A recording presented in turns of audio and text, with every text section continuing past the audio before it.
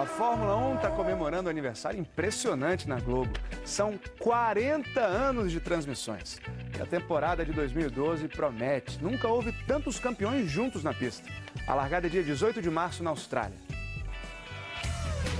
Líderes, inabaláveis, focados, obsessivos.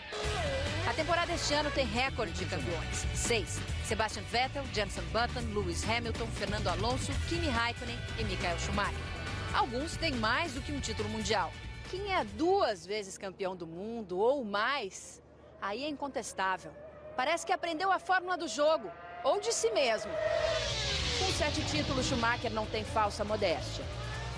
Líder inato? Se você me chama assim, obrigado. Provavelmente eu mereço mesmo, depois de todos esses anos.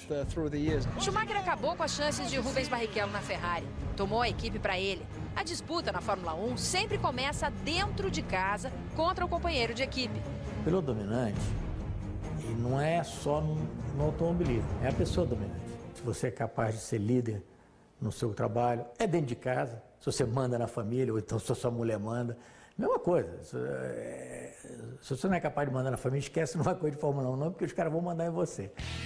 Piquet venceu um ambiente hostil na Williams. Piloto inglês num time inglês, Nigel Mansell.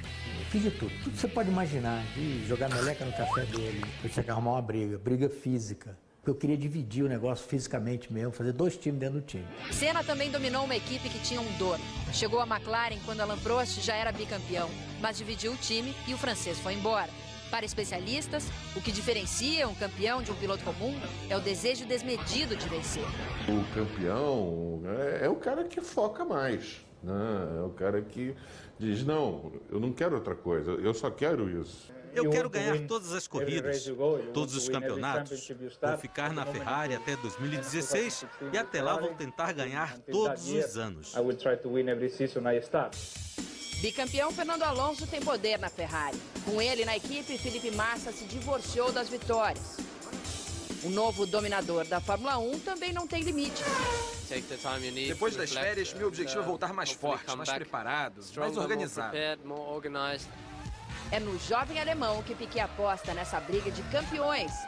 Número um, o próprio Vettel, que está na idade certa, que vem de dois campeonatos. Em segundo lugar, o Alonso, que é, ainda ainda tem a fase dele, né? É, não posso fazer desfazer do Schumacher, mas a idade, gente, a visão, a velocidade, tudo, não tem jeito. Você não pode comparar um cara de 20 anos com um cara de 40 anos.